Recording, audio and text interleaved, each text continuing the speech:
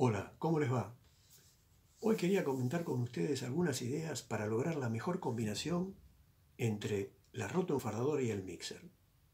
Podemos empezar con una rotoenfardadora que tenga un atado por hilo, este, con esos atadores modernos que hay hoy que ponen cuatro este, hilos por vuelta de rollo que bajan a la cuarta parte el tiempo de atado del rollo y que además tienen una descarga por eh, rampa, con lo cual también agilizan la descarga del rollo.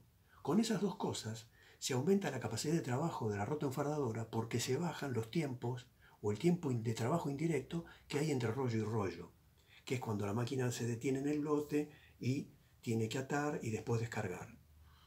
Ahora bien, el mixer para eh, trabajar con esa rotoenfardadora es el mixer vertical, aunque hay otras alternativas que después veremos.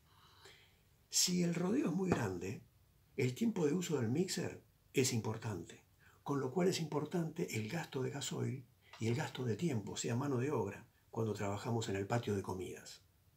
Entonces, aparecen las rotoenfardadoras con cúter, es decir, con cuchillas que trozan el tallo de alfalfa en trozos de 14 o 7 centímetros, más o menos de acuerdo al modelo. Esos rollos se atan con red para evitar que se desmoronen antes del el tratamiento en el mixer.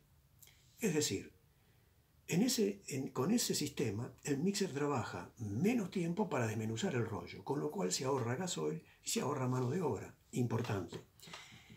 De todas maneras, también debemos considerar que en esa situación la rotoenfardadora pierde capacidad de trabajo porque es un poco más lenta, pero también, y también pierde un poco de hojas.